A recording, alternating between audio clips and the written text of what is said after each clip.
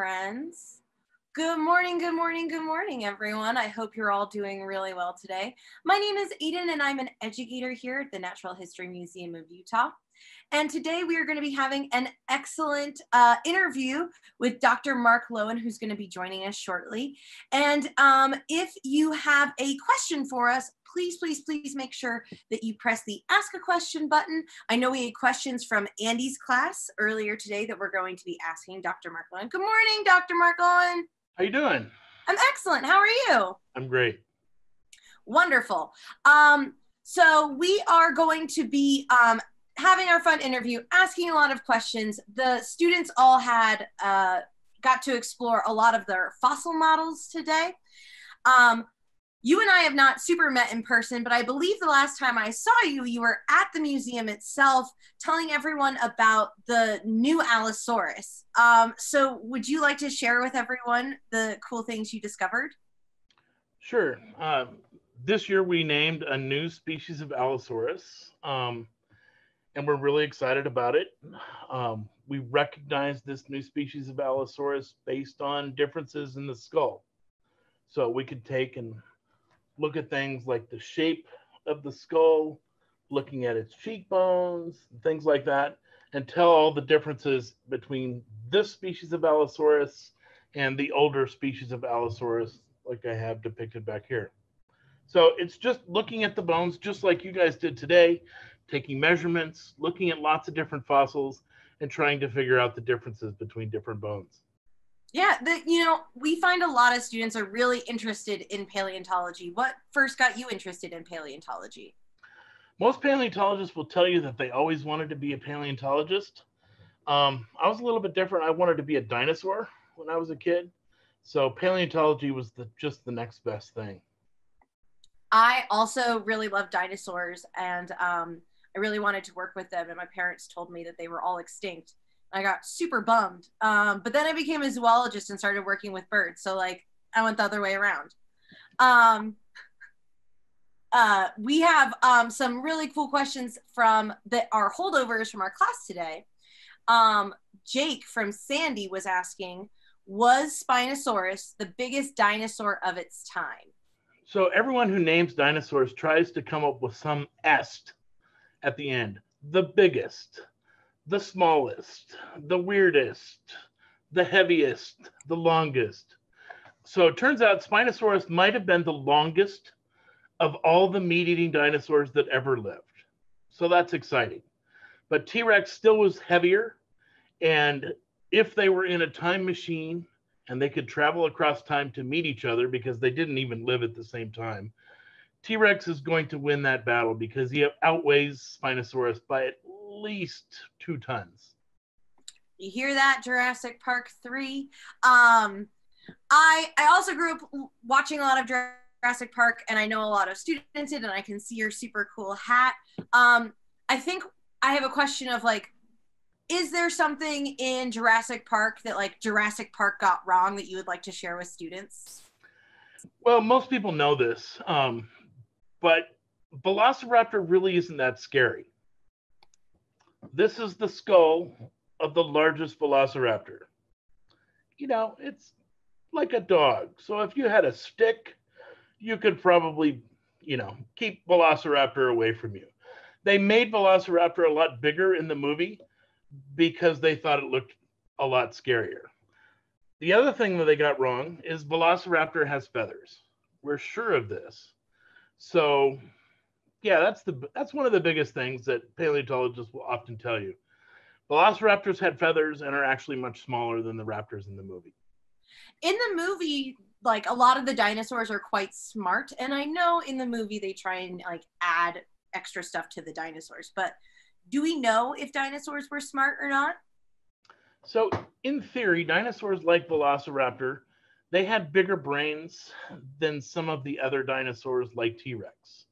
But if you've ever spent time with birds, birds are really smart dinosaurs that are still alive today. And some of them are very cunning. Um, I know ravens and magpies are really smart, parrots. So, no, they're not as smart as your dog, but they were smart enough to get the job done. Animals are typically as smart as they need to be and not really smarter. Uh, That's right Yeah, it's a good survival thing. um, Grace also had another question during our lesson. Um, she's from Sandy and asks, um, are there any new ceratopsian fossils found? I know we have a very big collection at the museum. Yes, and let me show you a copy of one. This right here is a copy of a brand new horned dinosaur. This is the back of its head shield, and this still hasn't been named. We're hoping to name this this summer. So if you can come up with a good name, we probably still won't name it that, but yeah, we're still looking for a name. We don't know what we're going to call it yet. I guess I should ask another really good question, which is we've been talking yesterday with Carrie about like what people should do if they find a fossil and where fossils belong. Is that a real fossil or a replica fossil that you have? That's a copy of the real fossil. The real fossil is actually at the museum, but our museum's closed. So I have this copy so I can work on trying to figure out differences between that and dinosaurs like Triceratops and Utahceratops. It's the differences between di- different dinosaurs that help us figure out whether they're new or not. Thanks for that answer. I know Grace was really looking forward to that. Um, uh, we have another question also from Abella from California who asks, were there dinosaurs that lived in the water? That's a great question. So some people have said there's one research paper that suggests that Spinosaurus spent a lot of its time in the water. Spinosaurus has different teeth than any other meat-eating dinosaur in that there's no serrations on the edge. They're not jagged edges. They're actually just cone-like points, and we associate that with animals that eat fish. So certainly Spinosaurus spent a lot of time in the water, but it wasn't an aquatic animal, right? So just because you go in the water to fish doesn't mean you live in the water. There are none of the sea monsters that lived alongside the dinosaurs are actually dinosaurs. Some of them are lizards, other than others are different other kind of reptiles. Crocodiles became sea monsters at the same time, but dinosaurs never became totally aquatic animals. Interesting. What about flying ones? Do they count? So flying reptiles like pterosaurs, which you'll find in every pack of plastic dinosaurs, actually aren't dinosaurs. They're the cousins of dinosaurs that represent a branching of the ancestors between dinosaurs and pterosaurs. So pterosaurs were the first reptiles to take to the air and take over the skies. But very soon after, dinosaurs related to things like Velociraptor started actually taking to the air and flying. So birds, in the end, are the only survivors of the Mesozoic era that actually fly. That's super interesting. Um, I know that there's a lot of other questions we have, but I want to remind everybody that if you have a question, please press the ask a question button. Or if you're tuning in from Facebook, go ahead and leave us a comment because we'd love to hear from you. Don't be shy. You were talking about like the Mesozoic time period. I understand that um, prehistory is broken up into lots of different chunks and that those chunks can be huge expanses of time. Do you have a favorite uh, prehistoric like era? Well, certainly it's the Mesozoic. That's the time of the dinosaurs. You know, if I could go back in a time machine, that's the land I would like to see. Um, I'm also really interested in the time just before the dinosaurs went extinct. Um, that's a lot of some of the work that we do uh, here at the Natural History Museum of Utah. We look at the last 10 million years of the dinosaurs and are really interested in how animals were living before they got wiped out by the giant meteor. Yeah, the I I know there's a lot of questions about how dinosaurs like went extinct and things like that. Um, and the extinction happened at the end of the Cretaceous, right? That's right. Um, I guess one of the questions that we some of the students ask is these periods of time are so long. Um, what what would be like the amount of time between like a stegosaurus and like a t-rex? Is it like on monday there's stegosaurus. On tuesday there's no more stegosaurus and it's t-rex time. Let's put it this way. There's less time between T Rex and you than there is between Stegosaurus and T Rex. wow. That's mind blowing, right? that is mind-blowing. How much time is there between me and t-rex? Between you and T Rex, there's 66, 65 million years. Between you and Stegosaurus, it's 150. Whoa! 150 minus 66 is a bigger number than 66. Math. Um, uh, that's very cool. Uh, let's see. We have some student questions coming in. Uh, uh, Luke from California asked, "Could Spinosaurus actually run 35 miles per hour?" Um, we only think there's a couple dinosaurs that actually could run 35 miles an hour.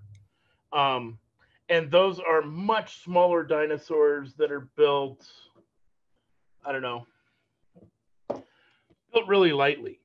So, what is the fastest dinosaur today? Anybody That's what Liz was asking. That's the peregrine falcon. It can go over 200 miles an hour in a dive. So the fastest dinosaur was some flying dinosaur. And in a dive, it would go really fast. But the fastest land dinosaur are things like the ostrich mimic or Nithomimus type dinosaurs. If you remember from Jurassic Park, when all the dinosaurs are flocking and running around Dr. Grant and the two kids, they do move Uh, like birds. those are Gallimimus. So those are the type of dinosaur that we think are the fastest. And how we figure that out is we look at the ratios of their bones and we look at the muscles. We actually know that T-Rex would have to have half of its body mass in its legs in order to physically go 35 miles an hour, which is impossible. If you look at T-Rex, half of its mass is not in its legs. T-Rex was as fast as it needed to be right? And not faster. it, it didn't suffer for getting food. Uh, but things that T Rex ate, you know, were so big, they weren't very fast either. Well, that leads into like another good question. Mariana from Salt Lake City asks, "How do we know how dinosaurs hunted, or if they hunted?" Well, if you look at T Rex, let's look at T Rex. What's he going to do with his arms? I don't know. Another question was, why do they have? Why do meat eaters have such tiny arms? So we can fold two questions into one. So T Rex, you know, you compare it to something like Allosaurus. Allosaurus had longer arms and claws and could actually do things with its arms. T Rex has taken all of its fighting ability and put it into its skull. It's a headhunter. Literally, it grabs other dinosaurs, you know, with its mouth and shakes them to death. It's hard to do in mirrored screen. So this animal is hunting with its head only. It actually has a much stronger neck and a bigger skull. If you look at the skull of T-Rex, the skull of T-Rex actually can look you in the eye. Can you see how you can see its eye holes? Yeah, yeah. Other dinosaurs, like this species of Allosaurus, they wouldn't have been able to do that. He can't look you in the eye. Animals that can face forward and look you in the eye have what we call stereoscopic vision, just like us. So our eyes have an overlapping field of view, so you can tell what's closer, what's farther away using that field of view. We associate that with animals that hunt. If you think about a cat versus a cow, a cat has overlapping field of vision, cow doesn't. Birds that hunt like owls have these overlapping fields of vision. So we know a little bit about, you know, T-Rex could see things in 3D and certainly is built for hunting. How did it hunt? It would grab things with its head and shake them to death. Golly, what a way to go. Um, let's see, we have a bunch more. Uh, uh, Mary from Lehi asks, why do paleontologists make replicas of fossils? Why would you not? So cool, right? So, I mean, I agree. so this replica, this is actually a 3D print of a skull of a very famous T-Rex called Stan. You'll see this one at Thanksgiving Point Museum and other museums around the world. But I couldn't hold the real bones of Stan. So if I want to study it, I use this small 1/6 scale model to actually look at things. And I can hold this and study it and compare it to other bones. So here's the skull of another Tyrannosaur. It's just the snout. This is a Tyrannosaur we named last year. But comparing this with other known animals like this is actually how we figure out what's the same and what's different. Well, that that leads to a good question um, that uh, my friend Andy from Kansas is asking, which is, um, well, I guess we're going to compound his question and my question. So you said that that's the T Rex Stan. I'm familiar with the T Rex Sue. Um, how do you tell male or female dinosaurs, if possible? And then how would you tell the difference of a kid, like a like a baby dinosaur, and an adult dinosaur? How do you know that they're not two separate things, separate species? Yeah, that, that's actually great questions. So I'm going to talk about babies versus adults first. Go for it. One of, one of the things we use is we'll actually look at the bone, and in looking at the bone, we'll look at the surface texture. And with a magnifying glass, you can actually see a different pattern in juvenile bones versus adult bones. And this is because young animals are growing faster than older animals. So we can actually pick that up. And so, you know, we recently found this this is a skull bone of another tyrannosaur unnamed from Wyoming. The question was, is this a baby or is this an adult? Because generally we don't want to name babies because they change as they grow up. So just like your kittens are much cuter than your cats, you know, animals change as they grow up. So by looking at these bone surface textures, we can actually figure out how old this animal is. At the same time, if we have a leg bone, here's a femur of a different tyrannosaur, we can actually look at the cross-sectional cut and we can see tree rings in meat-eating dinosaurs. So we can measure the age of most dinosaurs. I, I believe this dinosaur, Stan, is actually 33 years old, as is the dinosaur Sue. Um, so looking at the tree rings in their leg bones, we can figure out how old most dinosaurs are. And 33 is the oldest we've gotten. So dinosaurs lived a short life, you know, kind of like Elvis. They went out on top, you know, right at about 33. At the same time, you can tell when a female dinosaur is laying eggs by also looking at those growth rings in the in the leg bones. So when they're laying eggs, they're taking calcium out of their bones and putting them into the eggshells. So if you get a female dinosaur that died during egg laying season, you can tell that it's female because of those resorption lines. At the same time, we have also found dinosaurs with eggs inside of them. Whoa. So those are the two ways. If you, you can tell if it's egg laying by looking at the cross section of the of the leg bones, or if it has eggs inside of it. Two eggs, man. Standard way to tell. Um, there's a bunch more questions. We've actually got one that has to do with um, uh, more T Rexes. I guess we should say that model you have of Stan. How you said it's so big that like you could not hold it. That is like a scaled down model that you have in your hands, correct? That's right. Okay. The real skull Uh-huh. um, is longer than my outstretched arms. Wow. It's huge. Huge. And how much does it weigh? A lot. It's also made out of rock, so I imagine it's That's much heavier than Yeah, bone. It would be impossible Um, to lift. Impo- so you, impossible to lift. Um, a human, yes. Luke from California asks, "What are the holes in the sides of T Rex's skull for?" So if you look at the this T-Rex skull, Uh huh. this hole, this hole right here, Uh huh. I use my letter opener. This is where the eye goes. Okay. There. This is where it breathes. That's its nose hole. This is just an air sac. This is its sinuses, like we have. And then this hole back here is where the jaw closing muscle goes. Oh so my. the muscle that closes the jaw starts up on top of the skull, goes down through this hole, and connects right here to the bottom jaw. Cool. This dinosaur could bite your leg clean off. Whoa. But the muscle that opens the jaw is just a tiny muscle that goes from right here to right here. So if you were able to get your arms around T Rex's mouth, you could keep its mouth shut. But if you got your arm inside of there, it would be bad news.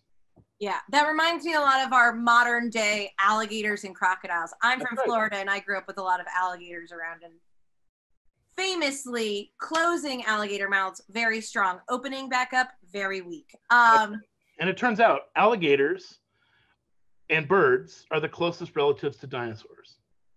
Alligators are the last living things that are representative of the group of archosaurs that dinosaurs and pterosaurs and crocodiles all come from.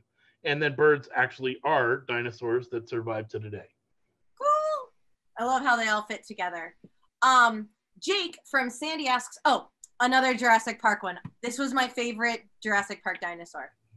Jake from Sandy asks, does Dilophosaurus actually have poison teeth? And I'm gonna elaborate, Jake, if you'll let me, or like venom and like the frill and like the whole thing.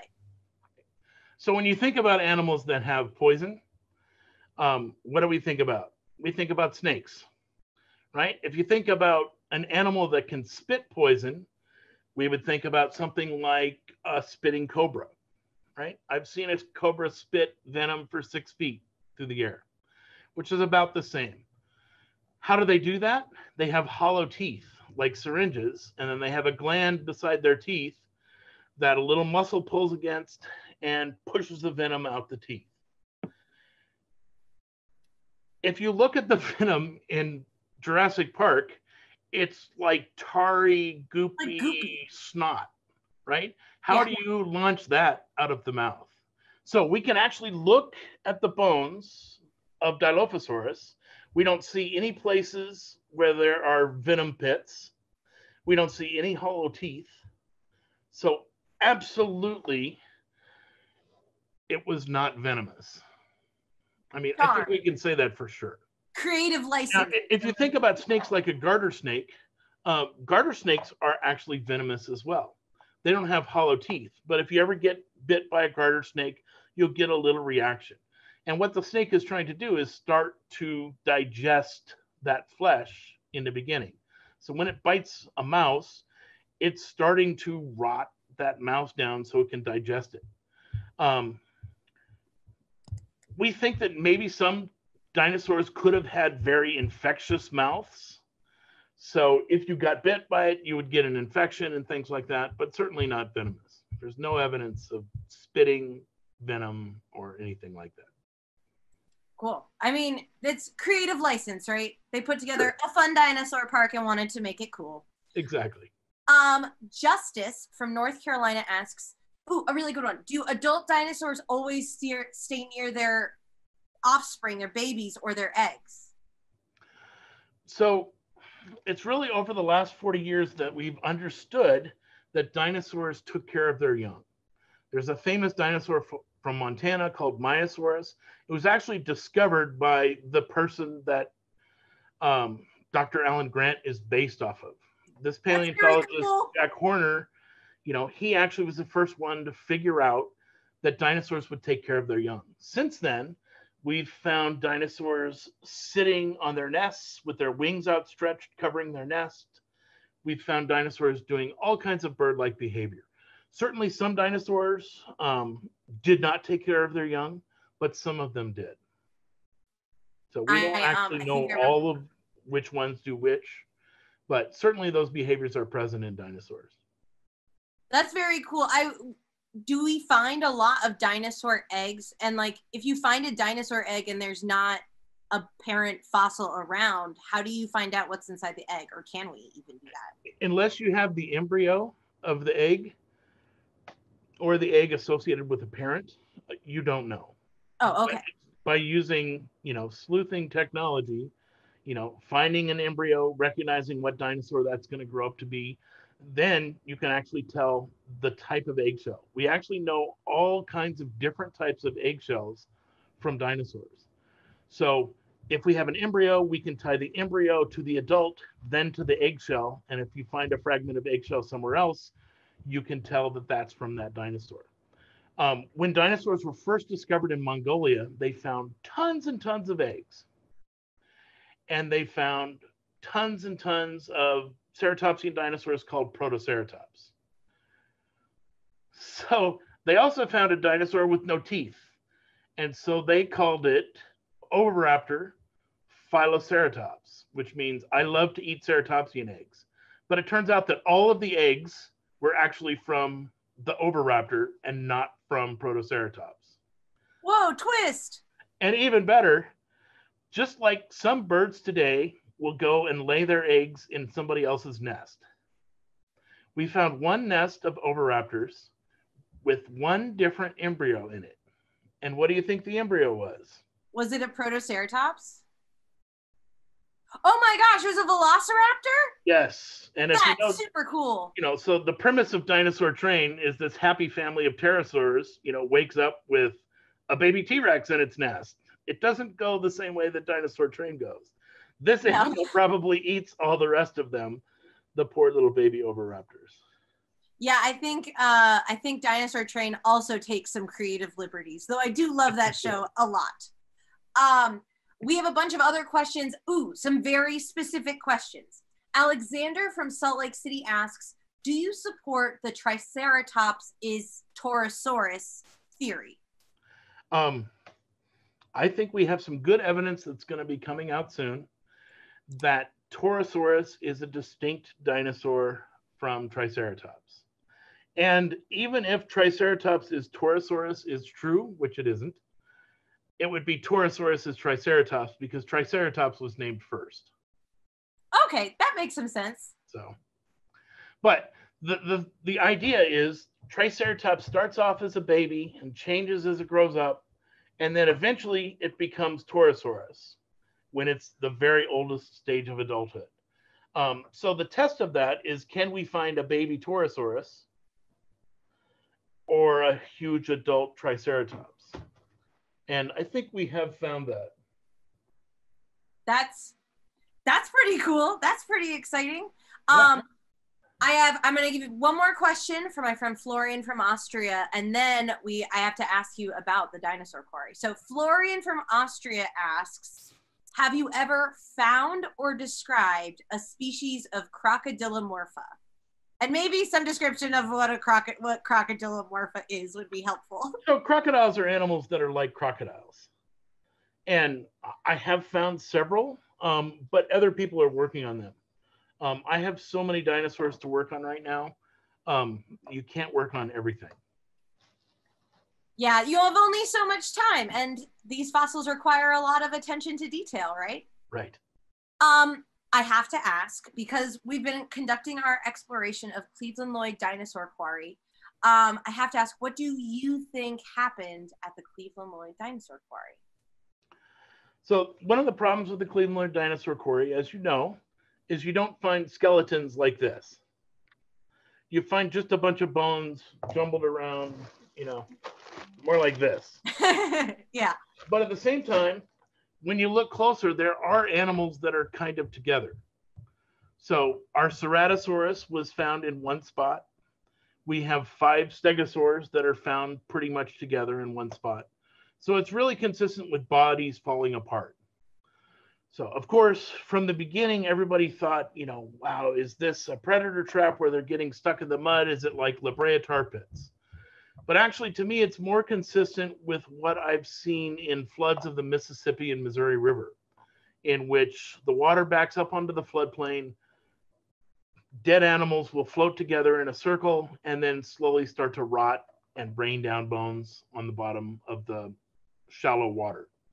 And that's what I'm I'm convinced that that's what's going on at this quarry. So they died in the flood upstream, floated downstream, came together in that one place.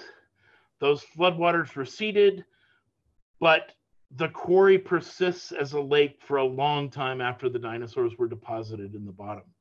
We have, you know, in some places, three feet of lake deposits that are like the bottom of the Great Salt Lake, of little bits of mud falling down through the water column and settling to the bottom of the lake. So a lot of things say it's rotting carcasses coming apart in a lake. Bloat and float, yeah? Yep. Um, that's very cool. Well, friends, um, let's see. We are just about out of time today. Maybe let's see. We have one more time for one more question. Dr. Mark Loewen, what is your favorite dinosaur? I think my favorite dinosaur is Ceratosaurus. Um, he's got a horn on his nose. He's got the longest, thinnest teeth of any meat-eating dinosaur. He's got he's the only armored meat-eating dinosaur. He's got a row of armor from the tip of his neck down to the base of his tail. So yeah, he's pretty cool. He does sound very cool. Um, well, friends, thank you so much for joining me today. Dr. Markle, and thank you so much for being here. You super rule. Um, uh, we have class tomorrow, same time, same channel, 9.30 Mountain Daylight Time. Andy will be leading us on a continuation of our exploration of the mysteries at Cleveland Lloyd Dinosaur Quarry. Um, scientists, friends, teachers, parents, please feel free to leave us some feedback. We're trying to help provide distance learning initiatives and serve you as best as we can. So please let us know how we're doing. Um, this Friday, we're going to have a special interview at 9:30 Mountain Daylight Time with record-setting astronaut Scott Kelly at 9:30. I think I just said that at 9:30 Mountain Daylight Time. Um, so be sure to tune in for that on Friday. And thank you again, Dr. Loewen. Uh, thank you so much for being here. You super rule. My pleasure. Bye, everybody. Thank you so much for tuning in. See you next time. Bye. Bye.